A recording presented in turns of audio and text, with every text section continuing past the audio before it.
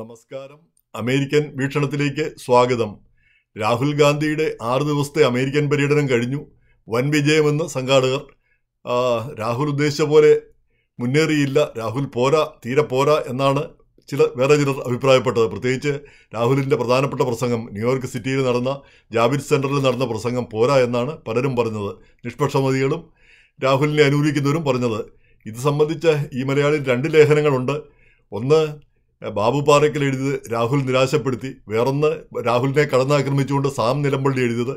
അത് സ്പെഷ്യൽ സെക്ഷനിലുണ്ട് മറ്റേത് അമേരിക്ക സെക്ഷനിലുണ്ട് അതേസമയം തന്നെ രാഹുൽ മറ്റൊരു ശ്രീബുദ്ധനാണെന്ന് പറഞ്ഞുകൊണ്ട് ഒരു വ്യവസായി സിലിക്കോൺ വാലിയിൽ നിന്നൊരു വ്യവസായി ഷാൻ ശങ്കരൻ അദ്ദേഹം പറഞ്ഞിരിക്കുന്നു. അദ്ദേഹം പറഞ്ഞ പ്രധാനപ്പെട്ട രണ്ട് കാര്യം രണ്ട് തവണ ഇന്ത്യൻ പ്രധാനമന്ത്രിയാകാൻ അവസരം ഉണ്ടായിരുന്നു രാഹുൽ ഗാന്ധിക്ക്. അതായത് മൻമോഹൻ സിംഗിന് പകരം രാഹുൽ ഗാന്ധിക്ക് പ്രധാനമന്ത്രിയാകാമായിരുന്നു. അതിനുള്ള പ്രായം ഉണ്ടായിരുന്നു ഇപ്പം ഇപ്പം തന്നെ അമ്പത്തിരണ്ട് വയസ്സുണ്ട്.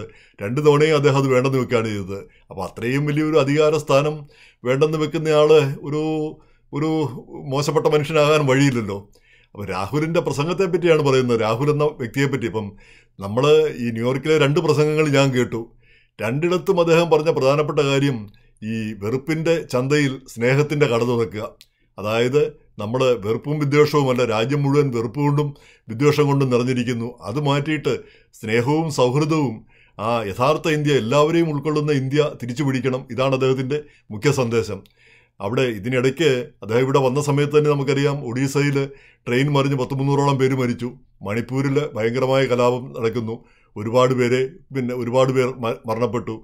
ഒരുപാട് സ്ഥാപനങ്ങൾ പള്ളികൾ പിന്നെ ക്ഷേത്രങ്ങളൊക്കെ തകർക്കപ്പെട്ടു. അങ്ങനെയൊക്കെയുള്ള ഭയങ്കരമായ സംഭവങ്ങൾ നടക്കുന്നു. അതേപ്പറ്റിയൊന്നും രാഹുൽ ഒരു അക്ഷരം മിണ്ടിയില്ല. അതുപോലെ തന്നെ അന്താരാഷ്ട്ര രംഗത്തുണ്ടാകുന്ന വലിയ മാറ്റങ്ങൾ ഇപ്പം നമുക്കറിയാം റഷ്യ ചൈന ഒരു അച്ചുതണ്ട് രൂപപ്പെട്ടുകൊണ്ടിരിക്കുകയാണ്. അതിന്റെ കൂടെ ഇറാനുണ്ട്.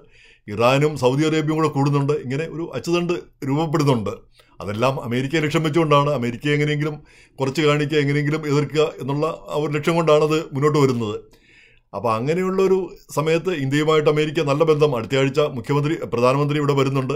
അപ്പോൾ ഇന്ത്യയുമായിട്ടുള്ള ബന്ധങ്ങൾ കൂടുതൽ മെച്ചപ്പെടുത്താനായിട്ട് അമേരിക്ക തീവ്രമായിട്ട് ശ്രമിക്കുന്നുണ്ട്. നമുക്കും അമേരിക്ക ആവശ്യമുണ്ട്. പിന്നെ ഇന്ത്യക്കും ആവശ്യമുണ്ട്. അമേരിക്കയ്ക്കും ആവശ്യമുണ്ട് രണ്ട് രീതിയിലും. അപ്പോൾ അങ്ങനെയൊക്കെയുള്ള കാര്യങ്ങളെപ്പറ്റി ഒരഭിപ്രായം ഒരു ഒരു കാര്യം പോലും പിന്നെ രാഹുൽ പറഞ്ഞില്ല. അപ്പോൾ അത് കേൾക്കുമ്പം എതിരാളികൾക്ക് അദ്ദേഹം ഒരു പപ്പു ആണ്. പപ്പു ആണെന്ന് പറഞ്ഞപ്പോൾ ഈ ഐ ഒ സിയുടെ പിന്നെ തമിഴ്നാട് ഘടകം പ്രസിഡന്റ് പറഞ്ഞ അദ്ദേഹം പപ്പു അല്ല ബാപ്പുവാണ്. ബാപ്പുവിന്റെ ആ സ്റ്റേച്ചർ അദ്ദേഹം നേടിയിരിക്കുന്നു. ഗാന്ധിജിയുടെ ആ സ്റ്റേച്ചറാണ് അദ്ദേഹം നേടിയിരിക്കുന്നത്. ആ നിലയിലേക്ക് അദ്ദേഹം ഉയർന്നിരിക്കുന്നു എന്നാണ് അദ്ദേഹം പറഞ്ഞത് അപ്പോൾ അതെന്തായാലും ഈ രാഹുലിന്റെ പ്രസംഗം അപ്പം ഇത് പിന്നെ ഇങ്ങനെ കാര്യപ്പെട്ട കാര്യങ്ങളെപ്പറ്റി ഒന്നും പറഞ്ഞിട്ടില്ല. ഭാവി പ്രധാനമന്ത്രിയാണെങ്കിൽ ഇപ്പോൾ അടുത്ത രണ്ടായിരത്തി ഇരുപത്തിനാലിൽ കോൺഗ്രസ് അംഗം അധികാരത്തിൽ വന്നാൽ വിജയിക്കുകയാണെങ്കിൽ രാഹുലായിരിക്കും പ്രധാനമന്ത്രി. അല്ലെങ്കിൽ ഏറ്റവും സാധ്യത കൂടുതൽ രാഹുലിനാണ്. അപ്പോൾ രാഹുൽ പ്രധാനമന്ത്രിയായി ഈ കാര്യങ്ങളൊന്നും പരാമർശിക്കാതെ നമ്മുടെ നയമെന്തെന്ന് മുൻകൂട്ടി പറയാതെ ഒരാൾ പെട്ടെന്ന് പ്രധാനമന്ത്രിയാകാൻ പറ്റുമോ? വാസ്തവത്തിൽ അതൊരു നല്ലൊരു ചോദ്യമാണ്. പക്ഷെ അതേസമയം തന്നെ ഇന്ന് ഇന്ത്യയെ അഭിമുഖീകരിക്കുന്ന ഏറ്റവും വലിയ പ്രശ്നം ഒന്നാണ് അത് ആ വെറുപ്പും വിദ്വേഷവും ആളുകളെ തമ്മിൽ ഭിന്നിപ്പിക്കുന്ന ഒരു സ്ഥിതിയുണ്ട്. ഇപ്പം കോൺഗ്രസിനെതിരെയുള്ള വലിയ ആരോപണം ഈ മുസ്ലിങ്ങളെ പ്രീണിപ്പിച്ചു മുസ്ലിങ്ങൾക്ക് വേണ്ടി മുസ്ലിങ്ങൾക്ക് വാരിക്കോരി കൊടുത്തു എന്നുള്ള ഒരു ആരോപണമാണ് ആർ എസ് എസും ബി ജെ പിയൊക്കെ ഉയർത്തിക്കൊണ്ടിരുന്നത്. വാരിക്കോരി കൊടുത്തു എന്നുള്ളത് ഒരു ഒട്ടും ശരിയല്ല. കാരണം മുസ്ലിങ്ങളുടെ സ്ഥിതി ദളിതരേക്കാൾ പിന്നിലാണെന്നാണ് പിന്നെ കണക്കുകൾ പറയുന്നത്. അപ്പോൾ വാരിക്കോരി കൊടുത്തിട്ടില്ല. പക്ഷേ മുസ്ലിങ്ങളുടെ മുസ്ലിങ്ങളുടെ അന്യായമായ കാര്യങ്ങൾക്ക് ശരിയല്ലാത്ത കാര്യങ്ങൾക്ക് കോൺഗ്രസ് ചുക്കാൻ പിന്നെ കുട പിടിച്ചു കൊടുത്തു. അതായത് ഷാബാനു കേസ് അല്ലെങ്കിൽ ഈ പിന്നെ വ്യക്തി നിയമം അങ്ങനെയൊക്കെയുള്ള മുസ്ലിങ്ങളുടെ ആ മൗലിക മൗലിക മനുഷ്യവിരുദ്ധമായിട്ടുള്ള കാര്യങ്ങളെല്ലാം അംഗീകരിച്ചു കൊടുക്കുന്ന ഒരു പരിപാടിയായിരുന്നു കോൺഗ്രസ് കാണിച്ച് കാണിച്ചുകൊണ്ടിരുന്നത്. അപ്പോൾ അതിനെതിരെയാണ് ആർ എസ് എസും ഒക്കെ ശബ്ദിച്ചുകൊണ്ടിരുന്നത്. അപ്പം രാഹുൽ ഗാന്ധിയുടെ നിലപാടിൽ ഇപ്പം മുസ്ലിം ലീഗ് മതേതര പാർട്ടിയാണെന്നാണ് ഇവിടെ വന്ന് അദ്ദേഹം പറഞ്ഞത്. അപ്പോൾ കോൺഗ്രസിന്റെ നയങ്ങളിൽ കാതലായ മാറ്റങ്ങളൊന്നും വരാൻ പോകുന്നില്ല. രാഹുൽ ഗാന്ധി വന്നു കഴിഞ്ഞാൽ ആ പഴയ നയങ്ങളൊക്കെ തുടരും എന്ന് തന്നെയാണ് നമ്മൾ മനസ്സിലാക്കേണ്ടിയിരിക്കുന്നത്. ഒരു പുതുമയോ അല്ലെങ്കിൽ പുതിയൊരു കാര്യങ്ങളോ രാഹുൽ പറയുകയുണ്ടായില്ല. പക്ഷേ അദ്ദേഹം പറഞ്ഞ പ്രധാന കാര്യങ്ങൾ അത് ഒട്ടും കുറച്ച് ഞാൻ കാണാൻ ഉദ്ദേശിക്കുന്നില്ല. കാരണം ഇന്ത്യയിലെ ഇപ്പോഴത്തെ ഏറ്റവും വലിയ പ്രശ്നം അതാണ് വെറുപ്പും വിദ്വേഷവും. അതുപോലെ തന്നെ ആ വെറുപ്പിന്റെയും വിദ്വേഷത്തിന്റെയും ഭാഗമാണ് അന്യരെ ആക്രമിക്കാനും ഓരോരുത്തർക്കും ഓരോ വ്യക്തിക്കും മറ്റേ മറ്റുള്ളവരെ ആക്രമിക്കാനുള്ള ആ ഒരു അഭിവാഞ്ച തോന്നുന്നത്. അപ്പോൾ കേരളത്തിൽ സദാചാരക്കുറ തന്നെ നടക്കുന്നത്. നമുക്ക് തന്നെ മറ്റുള്ളവനെ ആക്രമിക്കാം. മറ്റവൻ പിന്നെ മറ്റവൻ ദേശീയഗാനം പാടിയില്ലേ നമുക്ക് അവനിട്ട് പോയി അടി കൊടുക്കാം എന്ന് പറഞ്ഞാൽ ഓരോരുത്തർക്കും ഓരോരുത്തരും ഒരു രാജ്യമായിട്ട് ഒരു അധികാര കേന്ദ്രമായിട്ട് മാറുന്ന ഒരു സ്ഥിതി. അപ്പോൾ ആ ഒരു അവസ്ഥയിൽ നിന്ന് അങ്ങനെയല്ല നമ്മുടെ സൗഹൃദത്തിന്റെയും സ്നേഹത്തിന്റെയും ആ ഒരു കാലം ആ ഒരു കാലാവസ്ഥ തിരിച്ചു പിടിക്കണം എന്നാണ് പിന്നെ രാഹുൽ പറഞ്ഞത്. ഒരുപക്ഷേ ഇന്ത്യയിലെ ഏറ്റവും പ്രധാനപ്പെട്ട കാര്യം അതായിരിക്കാം. രാഹുൽ ഈ പിന്നെ ഇന്ത്യ ഒട്ടാകെ നടന്നയാളാണ് ഇന്ത്യ ഒട്ടാകെയുള്ള ജനങ്ങളെ കണ്ടയാളാണ് ഇന്ത്യയുടെ പ്രശ്നങ്ങൾ ശരിയായിട്ട് മനസ്സിലാക്കുന്നയാളാണ്. ഇപ്പോൾ ഈ ഷാൻ ശങ്കരൻ പറഞ്ഞത് സിലിക്കോൺ പറഞ്ഞ അദ്ദേഹത്തിന് പിന്നെ വലിയ അറിവുള്ള ആളാണ്. സാങ്കേതികമായിട്ടൊക്കെ ഭയങ്കരമായിട്ട് അറിവുള്ള ആളാണ്. പക്ഷെ അദ്ദേഹം അറിവുണ്ടെന്ന് ഭാവിക്കുക പോലുമില്ല. അത് തന്നെയാണ് അദ്ദേഹം ന്യൂയോർക്ക് സിറ്റിയിലെ പ്രസംഗത്തിനും അദ്ദേഹം പറഞ്ഞത്. ഞാൻ പറയുന്നത് നിങ്ങൾ കേൾക്കണ്ട. എന്റെ മൻ കി ബാത്ത് എന്റെ ഇതൊന്നും നിങ്ങൾ കേൾക്കണ്ട. നിങ്ങൾ പറയുന്നത് ഞാൻ കേൾക്കാം. നിങ്ങൾ പറയുന്നത് എന്തോ അത് പിന്നെ ആ കാര്യങ്ങൾ അതിന് നല്ല കാര്യങ്ങളുണ്ടെങ്കിൽ അത് ഞാൻ കേട്ടിട്ട് അത് നമുക്ക് പ്രാവർത്തികമാക്കാം എന്നാണ് അദ്ദേഹം പറഞ്ഞത്. ഒരു നല്ല നേതാവാണ് രാഹുൽ എന്നതിന് യാതൊരു സന്ദേഹവുമില്ല. പിന്നെ അദ്ദേഹം പ്രസംഗിച്ചത് ആ പ്രസംഗത്തിൽ കഴമ്പുണ്ടോ എന്ന് ചോദിച്ചാൽ ഇപ്പോഴത്തെ പ്രധാന വിഷയത്തെ പറ്റിയാണ് അദ്ദേഹം സംസാരിച്ചത്. അപ്പോൾ ഇന്ത്യ എങ്ങോട്ട് പോകണം? ഇന്ത്യ അദ്ദേഹം പറഞ്ഞത് ന്യൂയോർക്ക് സിറ്റിയിൽ പറഞ്ഞത് ഗാന്ധിയും ഗോഡ്സെയും തമ്മിലുള്ള ഒരു പോരാട്ടമാണ് നടക്കുന്നത്. ആ പോരാട്ടത്തിൽ ഇന്ത്യ എങ്ങോട്ട് പോകണം? ഏത് ഭാഗത്തേക്ക് തിരിയണം? എന്നുള്ളൊരു ഒരു നാൽക്കവലയിലാണ് നമ്മൾ നിൽക്കുന്നത്. ഏത് വഴി സ്വീകരിക്കണം? അപ്പോൾ ആ വഴിയെപ്പറ്റിയാണ് അദ്ദേഹം പറഞ്ഞത്. അപ്പോൾ അദ്ദേഹത്തിന്റെ പ്രസംഗം കഴമ്പില്ല എന്ന് തോന്നുമെങ്കിലും ഏറ്റവും കഴമ്പുള്ളതായിരിക്കണം എന്നാണ് എനിക്കിപ്പോൾ തോന്നുന്നത്. ഒരു നിഷ്പക്ഷം പിന്നെ ഒരു രാഹുൽ ഭക്തനൊന്നുമല്ല വിരോധിയുമല്ല. പിന്നെ എങ്കിലും എനിക്ക് തോന്നിയിരിക്കുന്നത് കാരണം നമുക്ക് ഭിന്നിച്ചുകൊണ്ട് നമുക്ക് മുന്നേറാൻ പറ്റില്ല. ഇരുപത് കോടി മുസ്ലിങ്ങളുണ്ട് ഇന്ത്യയിൽ അവരെ അവഗണിച്ചുകൊണ്ട് അവരെ ഒറ്റപ്പെടുത്തിക്കൊണ്ടോ അവരെ പീഡിപ്പിച്ചുകൊണ്ടോ മുന്നേ മുന്നോട്ട് പോകാൻ പറ്റുമോ? ക്രിസ്ത്യാനികളെ വേണമെങ്കിൽ രണ്ടടി കൊടുത്ത് നിലയ്ക്ക് നിർത്താൻ പറ്റും. കാരണം നാല് മൂന്ന് ഏഴ് ക്രിസ്ത്യാനിയേ ഉള്ളൂ. പക്ഷേ അതല്ലല്ലോ മുസ്ലിങ്ങളുടെ സ്ഥിതി. അപ്പോൾ മുസ്ലിങ്ങളെയും വിശ്വാസത്തിലെടുക്കാതെ ഈ ഇന്ത്യ മഹാരാജ്യത്തിന് മുന്നേ മുന്നേറാൻ പറ്റില്ല.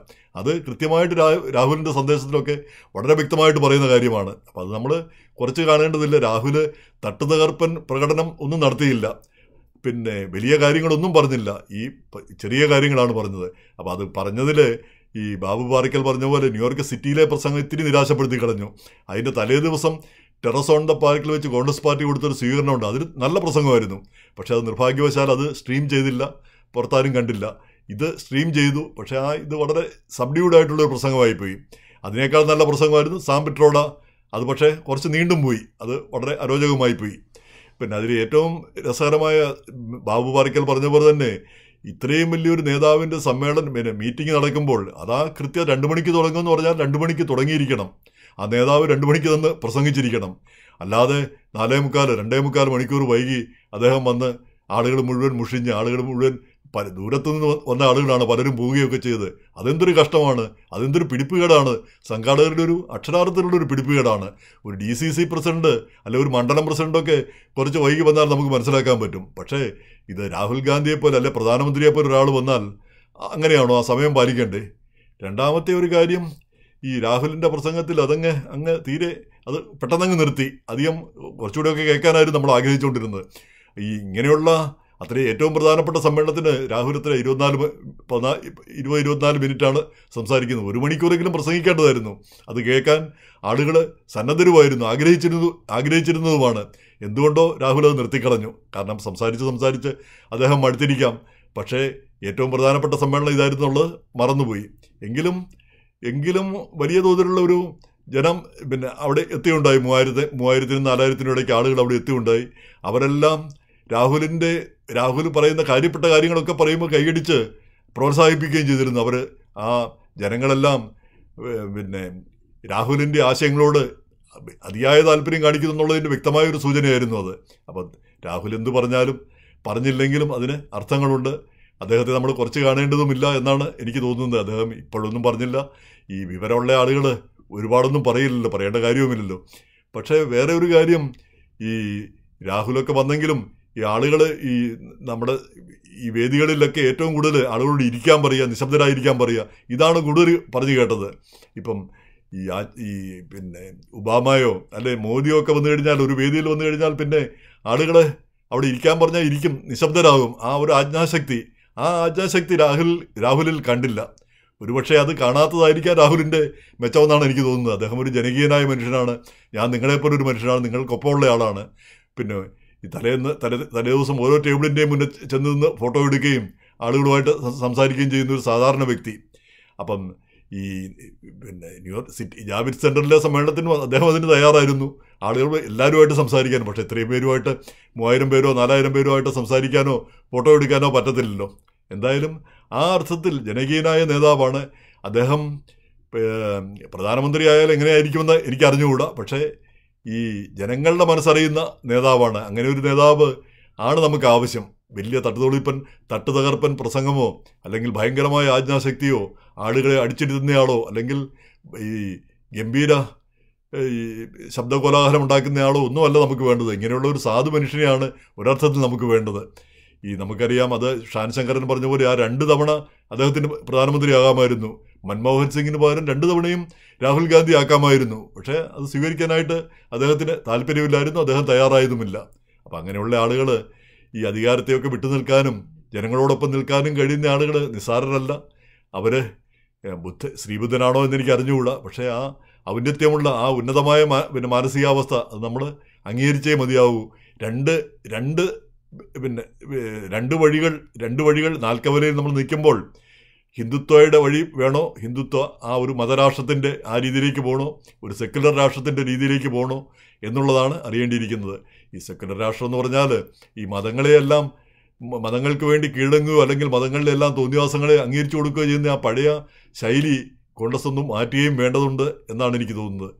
ഇതിന്റെ ഇടയിൽ ബാബു പാറയ്ക്കലിന്റെ ലേഖനത്തിലത് പറയുന്നത് കേട്ടു. കുറേ ഏതാനും മലയാളികൾ അവിടെ വന്ന് ഒച്ചപ്പാടുണ്ടാക്കുന്നത് കണ്ടു. ഈ മറ്റ് എല്ലാ സ്റ്റേറ്റുകളിൽ നിന്ന് വന്ന ധാരാളം പേരുണ്ട്. അവരാരും ഒരു ഒച്ചപ്പാടും ബഹളം ഉണ്ടാക്കിയില്ല. മലയാളികൾ മാത്രം വന്ന് അവിടെ ഒച്ചപ്പാടുണ്ടാക്കി. അവരെ വന്ന് സെക്യൂരിറ്റി വന്ന് പിടിച്ചുകൊണ്ട് പോകുന്നുണ്ട് സെക്യൂരിറ്റിയായിട്ട് അവർ പിന്നെ പിന്നെയും ഭയങ്കരമായിട്ട് ആർഗ്യുമെന്റ് വഴക്ക്. പിന്നെ ഒടുവിൽ പോലീസ് വന്ന് അവരെ പുറത്താക്കാൻ പറ്റാണ് ചെയ്തത്. അത് വലിയ കഷ്ടം തന്നെയാണ്. മലയാളികൾ ഇത്രയും പല രാജ്യ പല നാടുകളിൽ നിന്നുള്ള ആളുകൾ വന്നിരിക്കുമ്പോൾ നമ്മുടെ ആളുകൾ പോയി വഴക്കുണ്ടാക്കുക എന്ന് പറഞ്ഞാൽ അല്ലാതെ തന്നെ മലയാളികളെ പറ്റി മറ്റുള്ളവർക്ക് വലിയ അഭിപ്രായമില്ല. കാരണം എന്താണെന്ന് വെച്ചാൽ നമ്മൾ വലിയ ആളുകളും വലിയ പുള്ളികളും ഒക്കെയാണ് പക്ഷേ പത്ത് പൈസ ഈ സമ്മേളനത്തിനൊക്കെ പത്ത് പൈസ നമ്മൾ കൊടുക്കത്തില്ല. എല്ലാം മറ്റുള്ളവർ കൊടുത്തോണം. നമ്മൾ ആളുകളിക്കാനും ഇതിനൊക്കെ നമ്മളവിടെ ചെല്ലും. ഇതാണ് സാധാരണയായിട്ട് എല്ലാ സംഘടനകളിലും എല്ലാ പരിപാടികളിലും നടക്കുന്നത്. അപ്പോൾ അങ്ങനെയുള്ള ഒരു പേര് ദോഷം കൂടി ഉള്ളപ്പം നമ്മൾ പോകുമ്പം മര്യാദക്കെങ്കിലും ഇരിക്കേണ്ടതല്ലേ? നമ്മൾ അവിടുത്തെ ആ ഡെക്കോറം കീപ്പ് ചെയ്യുക എന്നുള്ളത് അതൊരു അതൊരു മര്യാദയല്ലേ? അത് എന്തായാലും ശരിയാവുന്നതല്ല ശരിയായ കാര്യമല്ല. നമ്മൾ വഴക്കുണ്ടാക്കുകയും ബഹളം ഉണ്ടാക്കുകയും ചെയ്യുന്നത് ശരിയല്ല എന്നാണ് എനിക്ക് തോന്നുന്നത്.